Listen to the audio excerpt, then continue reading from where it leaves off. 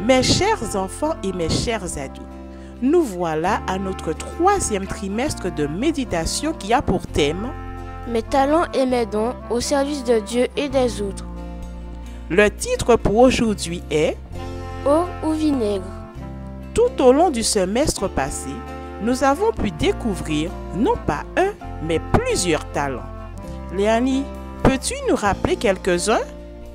Alors, nous avons vu le talent de charpentier, de musicien, d'auteur-compositeur, de danseur,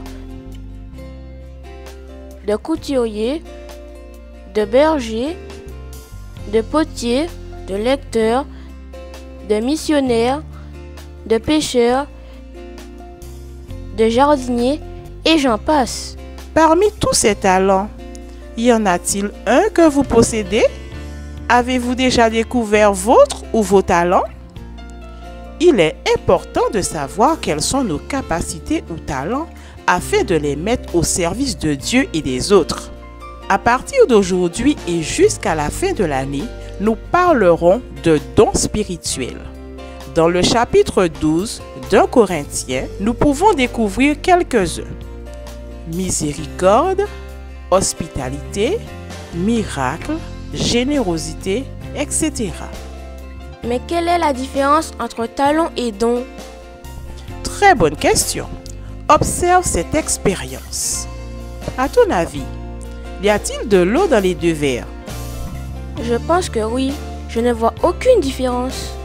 Et si je te dis qu'il y a du vinaigre dans l'un des verres Dans lequel des deux peut-on le retrouver? Dans le numéro 1 ou dans le numéro 2 Ah bon? Pas facile à deviner. Tu as entièrement raison, puisque le vinaigre ressemble à l'eau. De même qu'on a du mal à faire la différence entre l'eau et le vinaigre, on pourrait tout à fait confondre les dons avec les talents.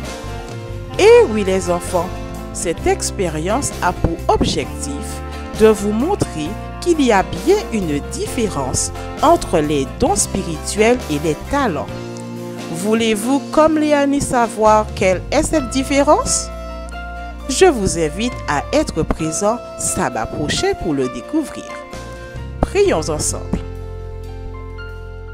Seigneur, aide-moi à utiliser les talents et les dons que tu me donnes afin de te glorifier. Au nom de Jésus, Amen.